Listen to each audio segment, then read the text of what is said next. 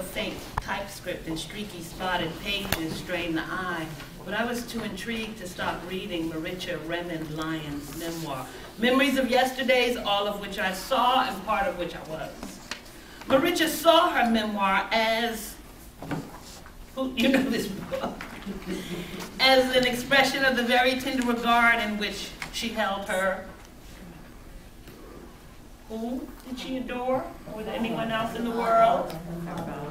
Her father, what was her father's name? Albro Lyons had often urged, I want you to write a book. I tried to do this myself, but never got further than the selection of a title, The Gentleman in Black. And one of the things I, I love, um, I did, I forget which school it was, they had, they, they were familiar with the book, and when I got to this part, and I said, what was the father going to name his book? They said, Men in Black. so they, they, they, they, they know, you know, there's some echoes. In honoring her father's wishes, um, Richard rummaged through decades of memories and keepsakes. She sorted through, quote, the vast output of fugitive scraps of family history that have been gathering for years. And after I finished Mar Maritcha's memoir, I dreamed of telling her story. Doing so would require a fair amount of detective work, to connect facts, to ferret out. Because the memoir she never lived to revise and complete is the main source of information about her. But the challenge seemed absolutely worthwhile because Maritcha merits remembrance. Born free in a nation stained by slavery, where free blacks had few rights and rare respect, here was a girl determined to rise, to amount to something, determined to overcome. And one of the things, I mean, it was a gym that day when I just remember it like it was yesterday, as they say, when it was probably 12 years ago, when Diana Lachatanere, at the Schomburg says, you know, there's this memoir here you might be interested in it.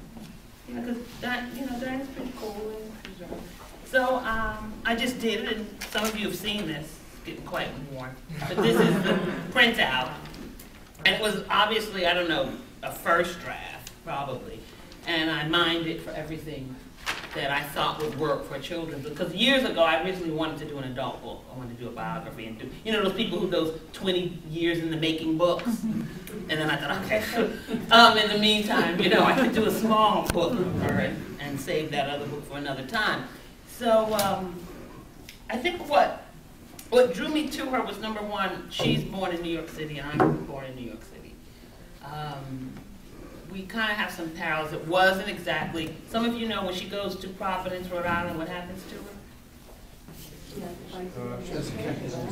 Yeah, and she's the only black girl in this school, and it kind of reminded me when I read that story, although I do not compare myself, in the 70s when I'm one of two blacks entering a school in Manhattan.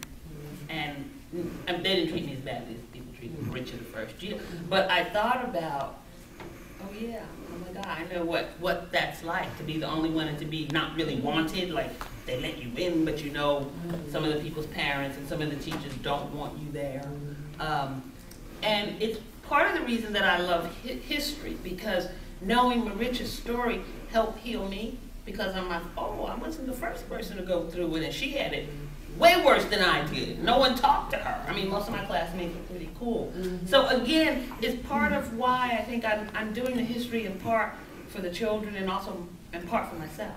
Because like I always say, I think that history can make you whole. You know, because I think we all go around confused a lot and sometimes wondering like, who am I? What is going on? Um, and we're also easily manipulated.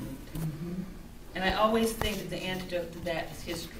That um, when you know what has happened before, you recognize it when you see it again. You know, people who know about, what was it? To hell with Spain, remember the Maine, to hell with Spain? You know, people who remembered history, how they got um, hyped up into a war for imperialism. You know, when they see that kind of stuff again, they're the ones who say, whoa, whereas other people say, think it's a new thing um, that you believe what you're told. Um, so again, so I did this because I felt this major connection with Maritcha. I love New York. Also, I did it after 9-11. Um, and I felt like I wanted to do a small story, and I wanted to do a New York story. Um, and since everybody thinks that this is the good part. I guess I'll read the good part. So I, I tell her early life, as some of you, you know, she, you know, middle class, she has stuff. They have nice things. And she has a little um, injury at one point. She's out of school, but she goes back to school, and it's not always easy because sometimes the coach doesn't stop for her. Um, her parents uh, worked on the Underground Railroad.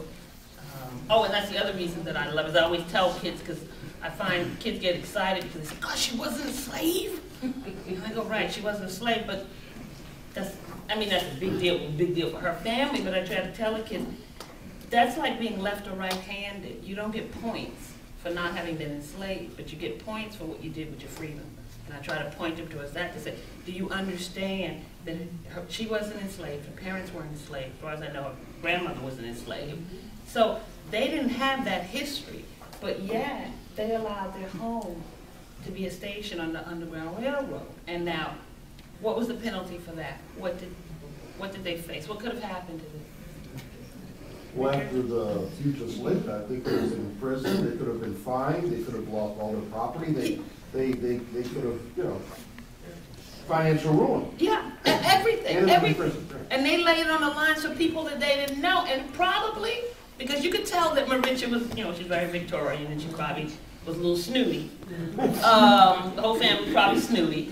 Um, they probably didn't like those people. Can you imagine for her family, they were fine, they have pianos, they have ten-year lamps, they have, you know, rugs, uh, they have breakfast dishes and dinner dishes and all of this, and, you know, and then they get some probably dark, smelly, maybe bedraggled, scarred, black folks who are illiterate, coming in, in their house. I believe they did not like those people. But they were able to see beyond those individuals to a higher principle and a higher cause. Um, And I think, as a matter of fact, if you look at most of the middle class in the nineteenth century, the Remonds, the Downings, and all of them, a lot of those people, they were, they were, like I said, a lot of them were snotty. And thought they were better than a lot of people, but they were able to say, but you know what, let me put that aside to help people. Same thing in New Orleans, you know, you have that group of people, what's the name of it? They, um, built schools, I don't know, there were octoroons and and they built schools, but they didn't want the brown children to go to their school, but they built a school for the brown children. So I'm like, okay, fine. Um, so yeah, her family had it pretty pretty good, um, and they could have uh, lost it all for helping people who had nothing. And I say, Maritcha knew never to breathe a word about her parents' underground railroad work. Quote, children were taught then to neither see, hear, nor talk about the affairs in which grown-ups were concerned. Can you imagine that today? Have any of you ever talked to kids about that? That there was a time when children, I remember as a kid, what would they say? Her parents could be fined in prison, as Richard said, if authorities discovered that they were helping runaway slaves. All the while that Maritcha kept hush-hush about her parents' heroism, she never imagined that one day she would be on the run and a refugee. This happened amid the, cat- the catastrophe that hit New York City shortly after Maritcha turned 15 during the sweltering days of mid-July 1863.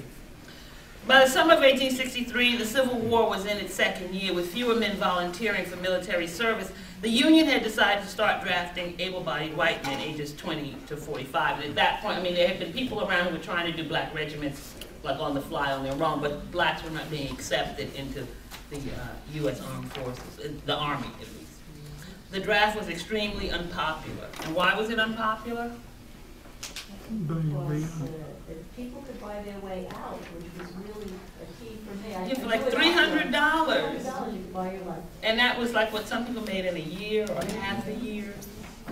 Um, and why also in New York was it? The Irish and black were competitive in terms of work. Yeah, because the Irish were a little low down on the totem pole, and but um, okay, the other reason, something you talked about with the mayor. Why why else was the, the draft unpopular? Well, because, Because New York was a, a southern town, I mean, the, the Yeah, yeah, a lot of New Yorkers had a lot of sympathy. Um, and again, it's that part of American history, the way I was taught, it was like everyone in the North was noble and, and for the end of slavery. And you realize how many people in the North made their money, made their wealth off of the, the bankers, the textile mills. So all up in New York, you know, New England, all over the North, you had a lot of people who, who had a vested interest